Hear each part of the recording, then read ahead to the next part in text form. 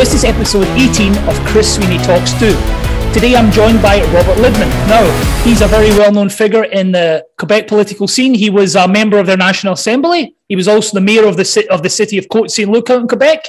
And um, he also co founded the Equality Party, which is now disbanded. And He's also an architect to trade. So we're delighted to have him along today. We're going to discuss something called Bill 96. Now, Robert, this is a very controversial thing for people outside of Quebec or even Canada.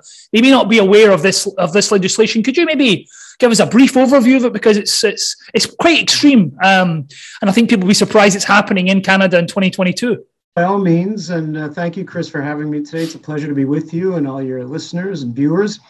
Uh, Bill 96 is a new law that was adopted by the Quebec government that changes Bill 101. Bill 101 is called the, the Charter of the French Language, which was a famous piece of legislation that was adopted in 1977 by the province of Quebec. And what it did was to bring in a series of measures to, I guess, protect and promote the French language and culture in North America, because as you know, uh, the province of Quebec is somewhat isolated in a large sea of English in North America and successive governments have sought to protect and promote uh, to some degree the French language within this uh, North American context of, of English, a North American uh, US culture.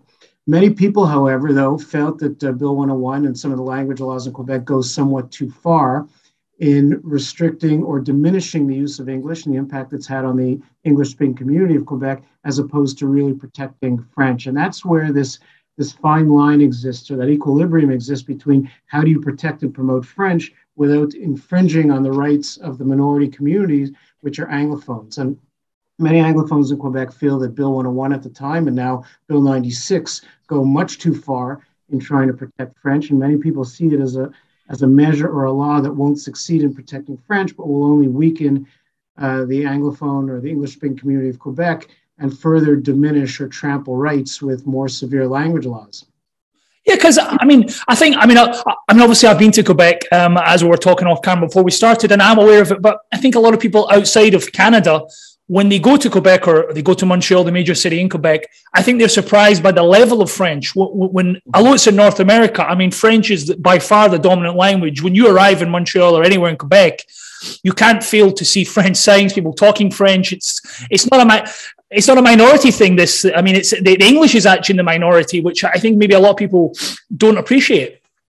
Yeah, see, English is very much a minority uh, language in Quebec, and throughout the institutionalization of Quebec, the government of Quebec, and most uh, government institutions uh, work or operate exclusively in French. And, and there are many people that are in favor of the independence of Quebec, for Quebec to become an independent country, and they want more and more and more. They want to weaken and dilute more and more and more the remaining English speaking minority in Quebec. And they want to bring these laws even further. And that's the that's where many of us object. You know, it's, certainly it's valuable to protect the French language and culture in North America, which is predominantly English but at the same time, it's not a zero sum game where to protect French or the French language, you have to diminish or weaken English or the English speaking community. And that's where there's a lot of tension and stresses between the two uh, linguistic communities here. Yeah, well, I mean, I mean, if we actually look at Bill 96, essentially it says that all your services when you speak to the state have to be in French, apart from your healthcare. And there's a caveat: if you're an immigrant, you've got six months to to sort of Correct have a have a free pass, shall we say? But after that, if you want to get a driving license, you want to complain about your bins, mm-hmm. you want to talk to your children's school teacher, it must be in French. Yes, it's very restricted from that point of view. And then there's the question of what is the definition of an English speaking Quebecer that should still have that right. So the government is putting in uh, fairly restrictive measures that only if you've been educated in English in Quebec or in Canada will you have the right to communicate with the government in that language. So that already sets apart a number of English speaking Quebecers who maybe haven't had their English education uh, in English in Canada that are being put at a disadvantage because, especially when it comes to healthcare and in stressful situations such as that, uh, you, you need to rely on your, your mother tongue sometimes. Even though most Anglophones in Quebec speak French, in moments of, of stress and duress, it's hard to speak in a second language sometimes. So there's got to be some flexibility there, but the government hasn't shown any opening to be flexible on that type of thing. And also with regard to immigrants, immigrants from England or, or Australia or the United States that come to Quebec only have a grace period of six months before they'll be able to communicate with the government in uh, in uh, in French, and that's uh, a severe detriment as well. So it's something that will also repel people from wanting to come to Quebec. We have to attract uh, great minds and researchers and professions. There's a labor shortage here too. How are we going to attract immigrants to come here if we've got all these restrictive measures to people coming here that they've got six months or else? And at that point, you won't be able to communicate with the government in your language. Yeah, because I mean, I mean, it's, I mean, it's, it's physically impossible. Well, not physically impossible, but it's highly unlikely anyone is going to have a grasp of French in six months that they can communicate um, in depth about important things, maybe about immigration or about your child's education. I mean, it's, it's not going to happen, is it? I mean, it's you, you can't learn a language from from from scratch in that time to be comfortable to that level. Yes, that, that restrictive aspect of the law is extremely unfair and it will penalize a lot of people. Not only it'll penalize Quebec too. We have a labor shortage here like everyone else, and we've got to reach out to the rest of the world and bring people to this uh, this province. But that's uh, virtually impossible. The government has to be flexible. Yes, they should put in place uh, free French courses to all immigrants that want to come here and learn French. But you've got to give people the benefit of the doubt. Not everyone uh, has uh, language as a strength, and it certainly takes a lot more than six months to master a language, or at least to be able to comprehend and discuss a language well enough to communicate with the state. Yeah, because I mean, I mean, if I'm reading Bill 96 correctly, I could speak English and say the, the teacher could speak English, but because I've been in I've been in Quebec more than six months, we have to speak in French. I mean, that's what the law is saying. Even though there's a common language that we could both use, we're not we're, we're by law we're not allowed to use it. Yeah, that's uh, that's the law. Now the government has been trying to uh, backtrack a little bit lately by saying that they'll be open, they'll be flexible. But you know, words are words and laws are laws. So what's written in the law is one thing, and certainly I can foresee situations where you might be in a hospital waiting room, or you might be in a store, or you might be in a business, and someone there might feel. Uh, someone who's very much a hardliner might say, "Look, uh, the law is the law. I can't speak to you in your language. I'm sorry, but uh, you want a blood test, you've got to speak to us in, uh, in French, whether you can or cannot. And that obviously will set up situations of conflict and difficulty for a lot of people living here. And uh, it's certainly unfair. And we're hoping uh, that people internationally and, and other people raise their voices to make Quebec, the Quebec government realize that they're shooting themselves in the foot too, because we're turning off the rest of Canada. We're, we're tarnishing our impression worldwide because when we want to be open to newcomers or, or the outside world, we're doing everything uh, to um, to go against that. Well, I mean, I was I was watching the premier of Quebec, uh, you, you, know, Francois Legault, he, he, did a press conference. I, th- I, think it was yesterday, and one of the quotes he said was, "What I'm trying to do is to make sure we keep French as the common language in Quebec." And he, and he also mentioned he touched upon monitoring what language people speak in their homes. And you, you start to have visions of like East Germany and North Korea, where where people are being monitored in their homes, and also the fact that he says, "I'm trying to protect French." French is already the dominant language, so you know you're, you're, it's already so dominant in, in, Quebec that do you need to protect it? You know, do you know what I mean? Well, look, the North American uh, language and culture is predominantly English, so there's a lot of uh, sense of insecurity among some francophones that one day that will just become pervasive and culturally too strong to resist. But at the same time, Quebec uh, right now is predominantly French, so I think in the short and medium term there's no there's no issue. What he was getting at, and it, it was it was scary because for the first time we've heard uh, Quebec politicians start talking about monitoring the language spoken at home. Now that uh, steps on a slippery slope, and uh, we can only imagine where that can lead. And, and many people uh, were very concerned about that statement. Uh, I think um, we have to monitor and uh, follow up with the premier to see what he's talking about. What the, what does that mean? And, and that's of grave concern to many people you know, the government also um, passed a resolution about verbal communication not that long ago because in Montreal, Montreal is about uh, 60 40. There's a large, uh, most of uh, English speaking Quebecers live on the island of Montreal. So Montreal is fairly cosmopolitan uh, with a lot of languages spoken. Particular English is, is uh, an important language in Montreal, albeit French is still the majority. And many shop owners, for that reason, on the island of Montreal, use the term when you walk into the store, bonjour, hi you know, in both languages, which is a very nice greeting. It's nice bilingual greeting, which is very welcoming to everyone. And the Quebec National Assembly, the politicians, including the premier, adopted a resolution which was passed unanimously in the Quebec National Assembly, saying that hi should be outlawed. So they're obviously they're starting to walk on that slippery slope of trying to regulate verbal communication, which uh, is a dangerous path to walk down. And he mentioned the other day, speaking language in your home, that is of great concern. And I think there has to be some pushback against that. Yeah, I mean, I mean, you know, you know, maybe I'm taking it too far, but the word sort of fascism came to my mind, where, where people are monitoring what you're speaking in your home. I mean, that is, I mean, particularly for a place like particularly a city like Montreal, there's a lot of immigrant communities. People are speaking their languages. So it's not just English. People may be speaking Spanish, Italian, Portuguese, whatever it may be. But I mean, when you're when you're monitoring what people are speaking at home, it's I mean, it's it, it, it's taken it very far, isn't it? It's worrisome. Look, Quebec is still a democratic society, and the Quebec government uh, is still uh, somewhat open. And I wouldn't go down that road of, of equating it to fascism by any stretch, um, to be honest. But you know, when you look at this thing, keep in mind that um, we have charters of rights and freedoms in this country too that protect the minority language rights, that protect freedom of expression, that protect freedom of religion, freedom of assembly, and all those things.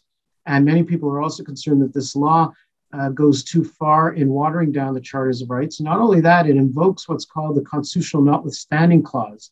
There's a clause that says, despite what the charters of rights say, that the government can pass any law.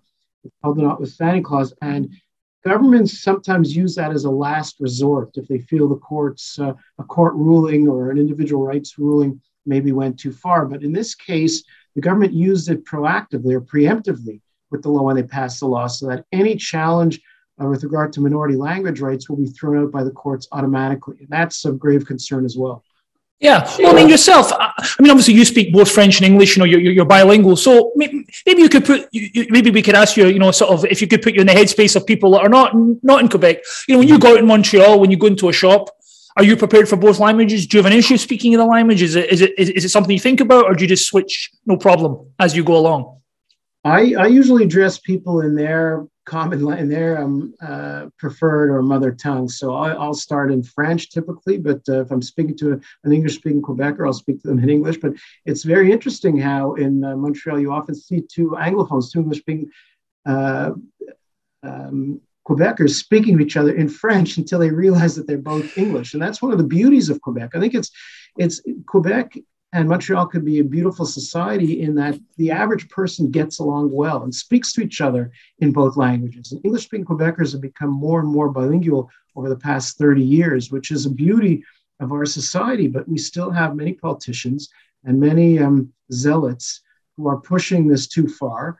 And they see any trace of English as a threat to French, when in fact it's not. And that's the thing that many people don't understand protecting the survival or the the viability of the French language in North America doesn't necessarily mean you have to trample on the rights of English speaking Quebecers. And that's where I think the government is going much too far with Bill 96. And many people that support Bill 96 uh, are going to quickly realize that it doesn't do much to protect French by suppressing English. Because I mean, as we mentioned at the start, you know, you're, you're also an architect. You're involved in business yourself. So, I mean, I guess people coming to, to Quebec, particularly maybe high paid, you know, sort of highly skilled individuals, because they're going to have to go through this language issue, they may say, well, I'm not taking a job there, or I'm not going to move my business there, or I'm going to move my business to another part of Canada. It's, it may, it's going to weaken the province economically. Yeah, you, you just put your finger on one of the key key issues here. You know, everyone uh, since COVID in particular is, is facing a labor shortage, finding personnel, finding qualified labor for anything, finding tradespeople, finding professionals, researchers is extremely difficult everywhere. And uh, every every country has to be bending over backwards to make themselves more appealing to outsiders, to immigrants to come here. But what we're doing is the opposite. We're telling uh, many people that if they come here, they're going to be forced into a straitjacket of a language regime where you might not be able to send your kids to the school of your choice. You won't be able to necessarily communicate with the state in the language of your choice. So, what does that do? That shoots ourselves in the foot economically. Instead of trying to bring a qualified um, labor force to Quebec, we're sending them elsewhere. And that's, uh, that's where many Quebecers have to realize that we're hurting ourselves by being so rigid on language. I mean, we mentioned the Premier of Quebec, you know, Francois Legault. Um, in terms of him and his party, you know, how would you describe this move? Is it is almost like an a lingo nationalism? Because, like you say, it, it seems to be, uh, you know, push everything else out the way, just focus on the language thing. Let's just focus on that and, and bring in this kind of draconian rule. You, you know, you know. I mean, how, how, would you describe the politics? You know, you know, where are they? Are they? I'm assuming they're right wing, but you know, what is their politics? Because it seems a very. I can't work out where they're going with this. Well, it's it's nationalism, it's ethnocentric nationalism to a large degree, but uh, it's also interesting. You're raising a very valid point. Uh, I write about it in my column this this week, this coming week, about how the um, the governing party of uh, Francois Legault, our premier, had their major policy convention last weekend. Uh, 1,200 delegates were there. There's an election, a provincial election in, in October, and all polls are showing that they will be reelected. But that last week, and so, you know, when a party knows they're probably going to be reelected, you would think that they would roll up their sleeves and dig deep and really address some of the issues, the core issues that affect uh, everyone. And most uh, opinion polls show that the main issues affecting everyone, and it's like this in many countries post COVID, are the healthcare system, caring for seniors, the labor shortage, the increasing the cost of living, housing shortage, uh, infrastructure uh, issues. So instead of dealing with all those issues, those were all uh, cast off, and the government focused all weekend last week on nationalist pride, Quebec nationalist pride, how if we don't protect French language and culture, Quebec might become like Louisiana. Louisiana is a state in the US that uh, used to have uh, a large Francophone uh, majority, but it has diminished over time and it's no longer a Francophone majority. So he always uses that as his doomsday scenario that if we don't bring in place these nationalist uh, rules and regulations, we might uh, just disappear or our language might perish. So that's certainly a complete and utter exaggeration. It's certainly not going to happen here in Quebec. But at the same time, they sacrificed all those main other issues of importance to Quebecers to focus on ethnic nationalism, identity politics, language politics, which dominated their policy convention last weekend.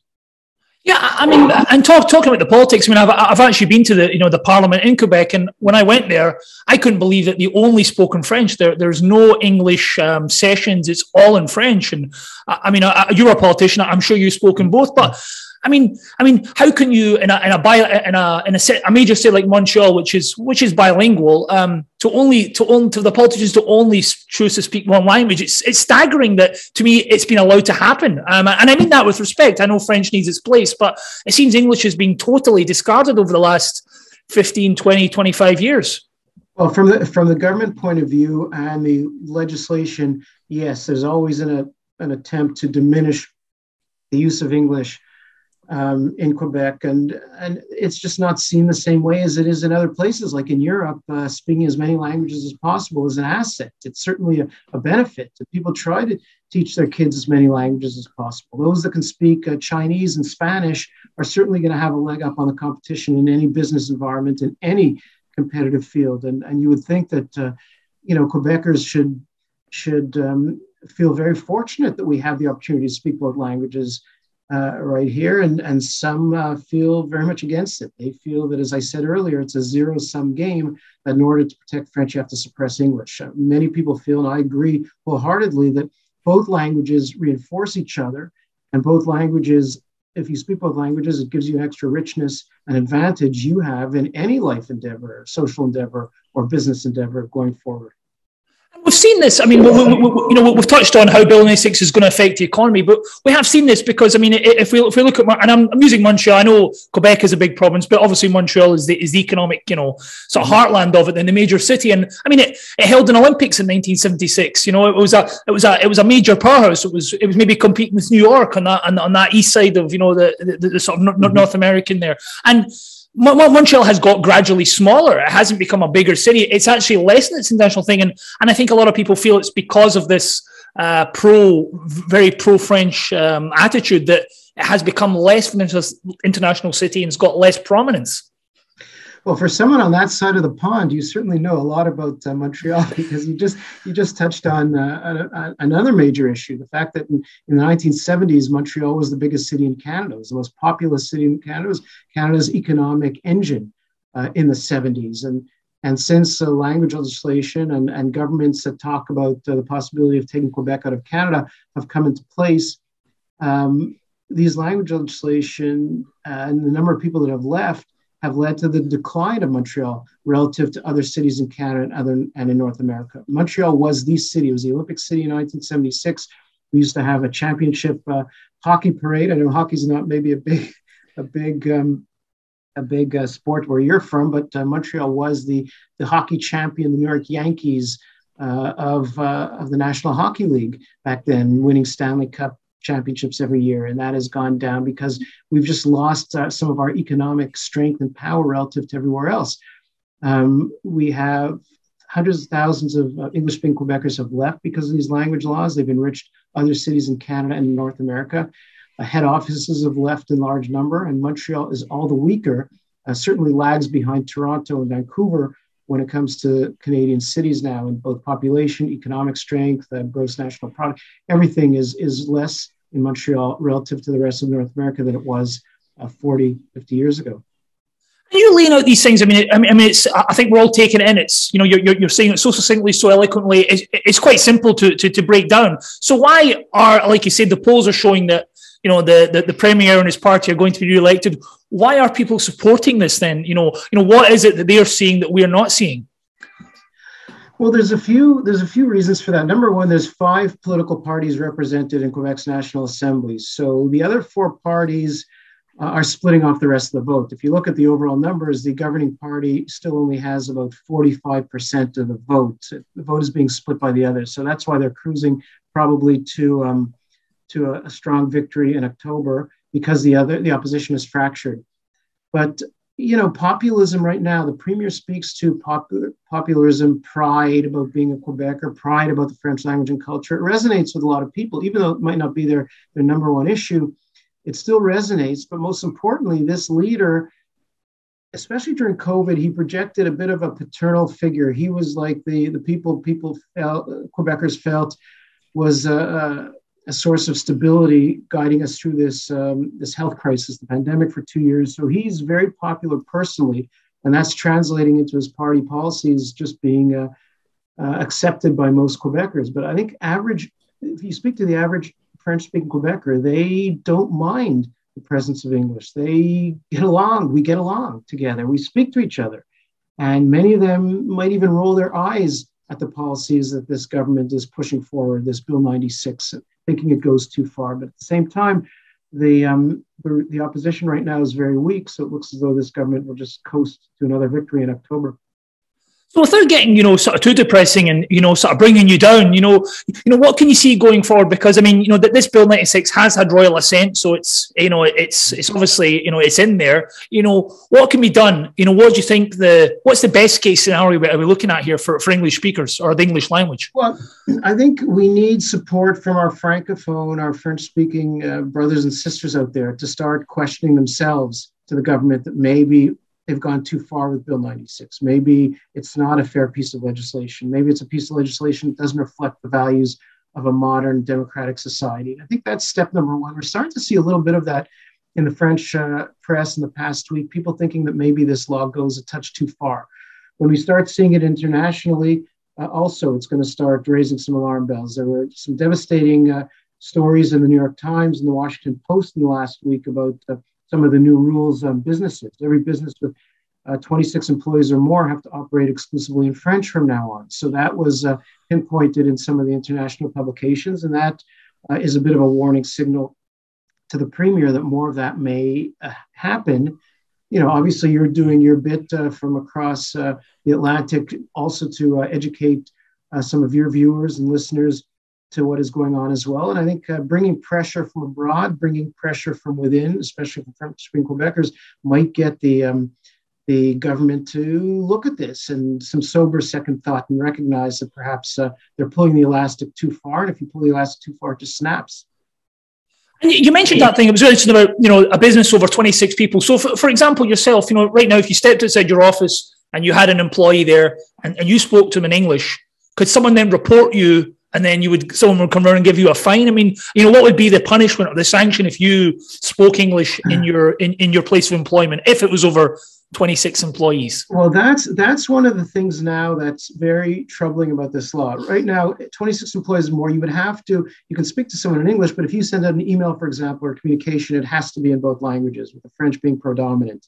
Any any uh, internal communications have to be uh, French first, and then you could have a second language, but you but there are aspects of the law that says you have to confirm or prove why the second language is necessary. And then with that, it gives the what's called the Office de langue française or the French language.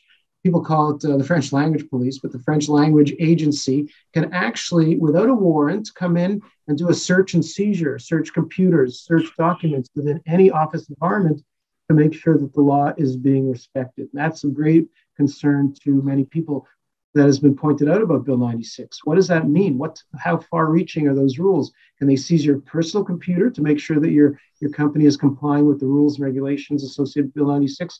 That's one of the things that uh, that obviously is going to find itself uh, through the courts over the next little while, and that's uh, you know one of the byproducts of this law that will just create divisions and uh, animosity between francophones and anglophones.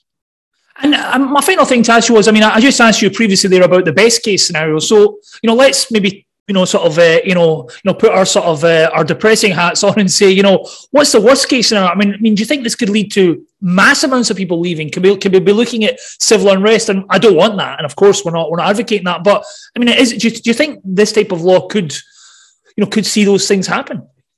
Well, civil unrest, no. Um, we saw for the first time in a long time English speaking Quebecers marching in the streets in the thousands uh, a few weeks ago, which is not something we do very often. We're usually very uh, laid back and uh, and uh, and stayed and, cal- and calm.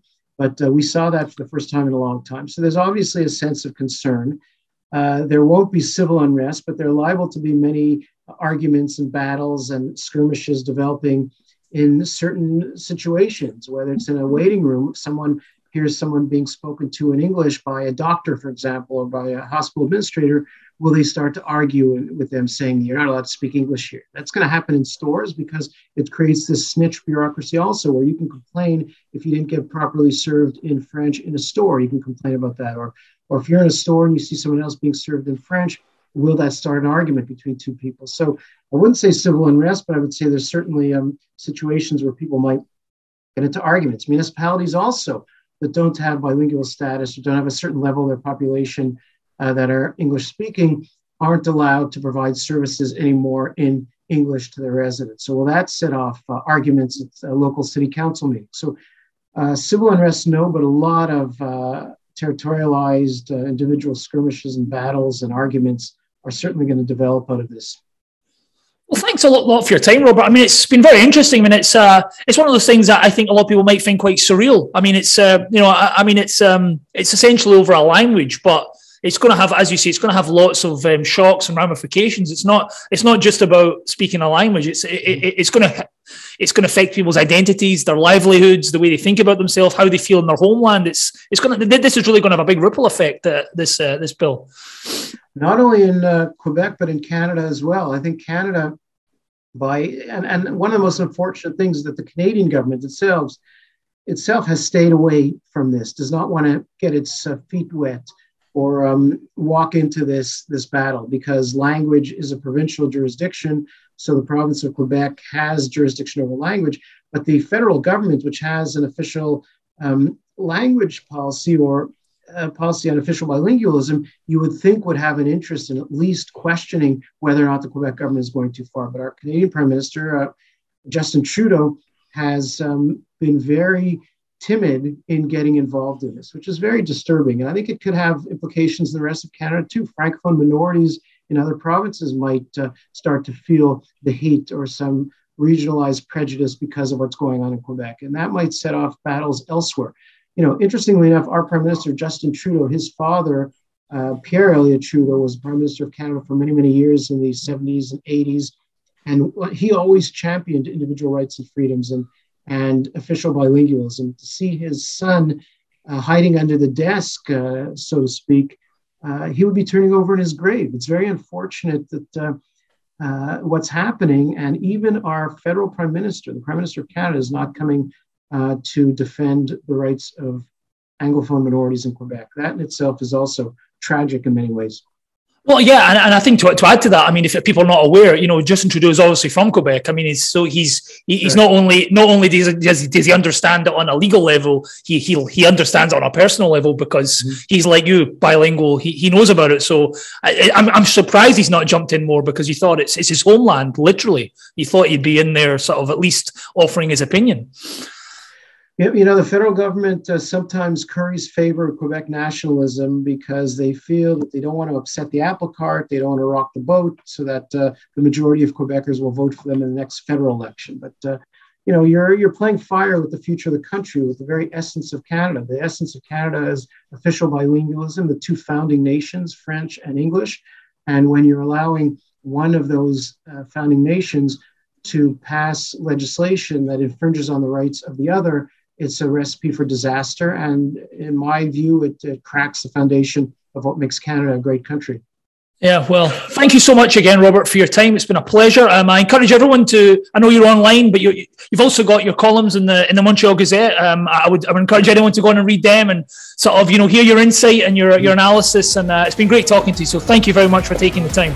Very much a pleasure, Chris. Uh, don't hesitate next time. Pleasure.